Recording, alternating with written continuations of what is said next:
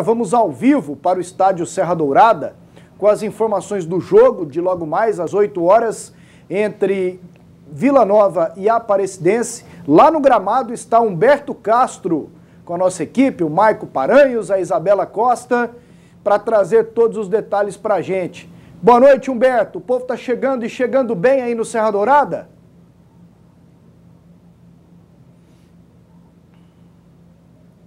Boa noite, Wendel Pasqueto. Boa noite a todos acompanhando o PUC TV Esportes. Ainda não. Será que foi acertada a decisão da diretoria do Vila Nova em mudar o jogo de sábado, seria o sábado de aleluia, bem no meio do feriado, para esta segunda-feira? Parece que sim, tem muita gente vindo para o estádio, mas menos de uma hora para começar o jogo, aqui dentro do estádio, o público é pequeno. Mas é claro, a diretoria espera. Isso já aconteceu em outros jogos. Eu me lembro que no ano passado, no brasileiro da Série B, os jogos 7h15, 7h30 e até mesmo às 8 da noite, o público chegava sempre em cima da hora ou durante o jogo, porque tem a questão também do trânsito, né? Principalmente do trânsito próximo aqui ao estádio Serra Dourada. Tem gente que não vem para o jogo, tá de passagem para ir para casa e aí acaba tumultuando um pouco o trânsito nas imediações aqui do estádio Serra Dourada. Estamos aqui na expectativa também das escalações. Tanto o Mazola Júnior quanto o técnico Zé Teodoro fizeram mistérios durante a semana, né, durante os dias que antecederam a este primeiro jogo dos dois times nesta fase semifinal e a qualquer momento os assessores de imprensa irão liberar estas escalações. Mas vamos trazer detalhes das duas equipes, começando com o Vila Nova, o material que a gente fez ouvindo, acompanhando a entrevista do Wesley Matos, zagueiro do Vila. Vamos então acompanhar um trabalho VT do Vila Nova. Um time com força máxima, querendo abrir vantagem visando a segunda partida da semifinal. É o Vila Nova, que entra em campo precisando vencer e convencer. Acho que tem que ser melhor, né? Tem que buscar melhorar cada, cada jogo. É um campeonato diferente. Agora o campeonato está com dois jogos. Não há espaço para erros. São jogos decididos em detalhes, onde o nível de concentração tem que ser muito alta. E é o que estamos buscando. Buscando é, cada dia melhorar nossa parte física. Ficamos aí de fora dessa, dessa última partida aí para condicionar, descansar quem tinha que descansar, para entrar forte agora nessas, nesses dois jogos semifinais para conseguir essa final tão sonhada para o Vila. Esse ano o Vila já perdeu para a Aparecidense no Serra Dourada. Foi só um acidente de percurso, dois pênaltis perdidos ou o adversário merece respeito? Demonstrou durante o campeonato toda eficiência, né? Principalmente nessa partida contra nós que eles venceram. Foram eficientes, tiveram uma oportunidade, fizeram.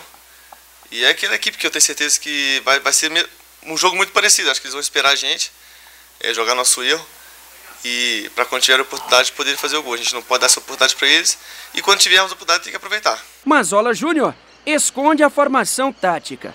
Já usou três atacantes, três zagueiros e o tradicional 4-4-2. Então, qual seria o ideal?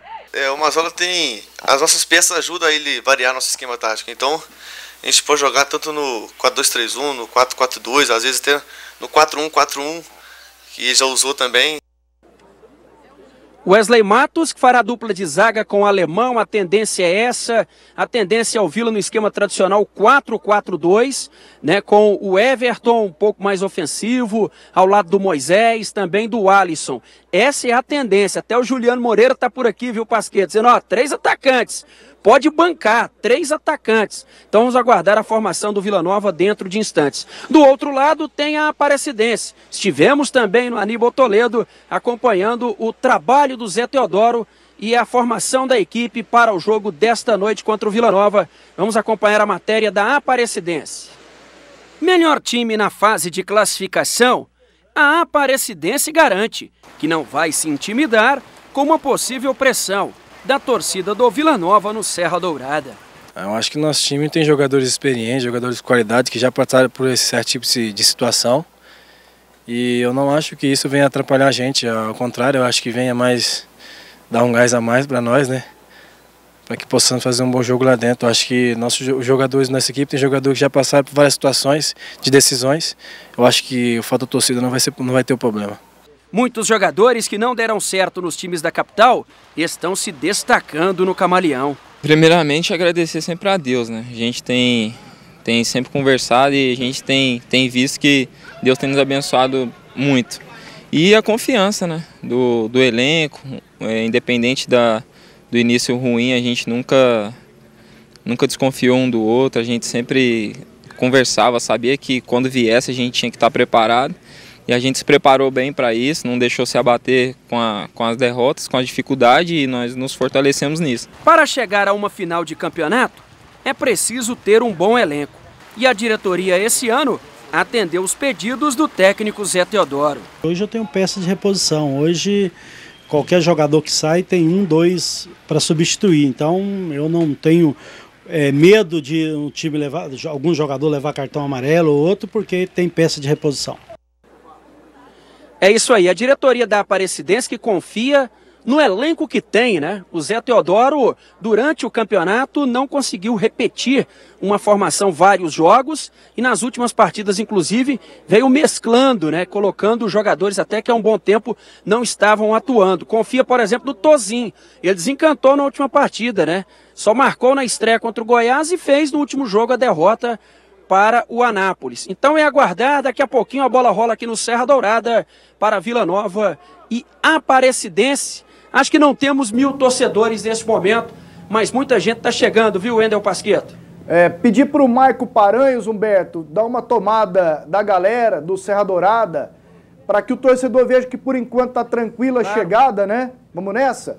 E que dá para ir tranquilo para o Serra Dourada, porque o Vila Novense tem que entender que o jogo é hoje. Né? Hoje você ganha, você encaminha meio caminho andado né, para chegar para a final do Campeonato Goiano. E o outro jogo ainda não está com local definido. A Aparecidense tem até quarta-feira para definir se será no Aníbal Batista Toledo ou se pode jogar aqui em Goiânia e o jogo eu, poderia ser no Estádio Olímpico. Eu até falei, Pasqueto. Sim, sim, Humberto. com o Ronei Freitas. Esteve há pouco aqui circulando pela área dos vestiários, atrás do gol aqui, à direita das cabines de rádio e TV, sobre a questão do jogo, a posição da federação. Estádio Aníbal Toledo, as arquibancadas tubolar, a federação quer que coloque assim, arquibancadas tubolar, estão aprovadas segundo o Ronei Freitas. Então o jogo para a federação neste momento, o jogo da volta, próxima segunda-feira, 8 da noite, é no Aníbal Toledo. Então tá legal, Humberto.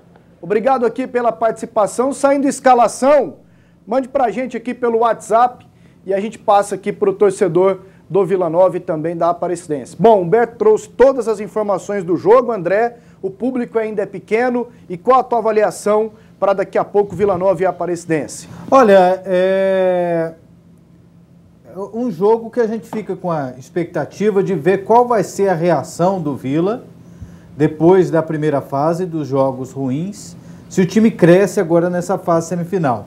E se a Aparecidense vai manter é, o mesmo aproveitamento da primeira fase. Então é um pouco até imprevisível esse jogo. Até pelo que as duas equipes jogaram quando se enfrentaram no decorrer do campeonato, dois jogos, um em Aparecida com vitória do Vila, outro em Goiânia com a vitória da Aparecidense, até nesse ponto o confronto foi muito equilibrado. A gente tem que aguardar a escalação, né, Doni? Mas será que o Mazola pode ir com três atacantes? Como fez no segundo tempo contra a Aparecidense no Serra Dourada e o Vila Nova jogou bem naquele segundo tempo? Mais uma prova, se fizer isso, uma prova da, da, da sei lá, inconsequência dele, que fala o que não pensa. Porque se ele, ele disse que o Vila não pode jogar com três atacantes, ah, é incoerência. É. Eu lembro disso. Aliás, eu disse que ele era incoerente, aliás, não era inconsequência, é incoerente, a palavra que eu estava procurando aqui, que me fugiu momentaneamente. Mas é, ele já jogou com três atacantes várias vezes no campeonato. Aí, porque perdeu um jogo, resolveu jogar a culpa dos três atacantes. É, quer dizer que quando ganha, funciona. E se ele escalar hoje três atacantes, aí, meu amigo, não dá mais para levar a sério o que o Mazola fala, porque, ué, está brincando. Aí reclama da imprensa, ele está brincando com a imprensa. Não, eu não digo do ponto de vista técnico, tá? Pode, o Vila pode jogar com três atacantes, na minha opinião. Mas o Mazola é que diz que não pode. Como ele é o técnico, como é que ele vai escalar? Ô Jean, Opa. e tem dois atacantes que vivem um momento ruim, né? O Humberto citou o Tozinho, que tem só dois gols no campeonato, e o Alisson. Três, né? Do, três o Tozinho? dois na, na estreia. Ele fez dois na estreia Isso, e, mais um. e um, mais um. E o Alisson, que fez dois contra o Anápolis na segunda rodada e não fez mais? Fez um de pênalti depois também. não mas, fez, assim, com fez quem? Ele pouco. errou o pênalti. Não, não, tinha batido outro pênalti. Com quem? Não anterior. tinha. Não foi, foi o Hiroshi, ele Foi sofreu o pênalti. tá. Ele só tem dois gols no Goianão. Foi a principal contratação do Tá, Vila dois Nova. ou três não muda muitas coisas. Não a situação dele, que a condição técnica dele e principalmente a condição tática não agrada. Né? Tem ajudado muito pouco a equipe do Vila Nova quando iniciou a sua temporada aqui pelo Vila muito atuante, voltando, correndo atrás do ala, fazendo a cobertura, E tá um movimentando Tozinho. bem. Ele está sendo um Tozinho, está no mesmo nível do Tozinho. São dois jogadores que geraram muita expectativa. O Tozinho por fazer eh, grandes séries B, principalmente pela Luverdense, é um jogador que sempre faz muito gols. O Alisson, por tudo aquilo que já fez na sua carreira e principalmente pelo início de temporada, eh, vem mal taticamente, tecnicamente, mas é um jogador que você não pode tirar. Primeiro, porque todo mundo que entra não demonstra um futebol superior ao dele. Segundo, é um atleta é que se espera muito, né? E que é, de repente com um pouco mais de, de tranquilidade, um pouco mais de incentivo, pode desenvolver um melhor futebol. O Moisés da mesma forma.